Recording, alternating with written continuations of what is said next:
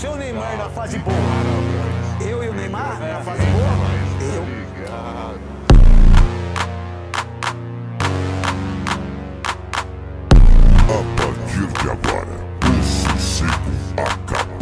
E aí ele disse: Eu sou o Edilson, o capeta. Dois para o Corinthians, um para o Real Madrid. Muito prazer.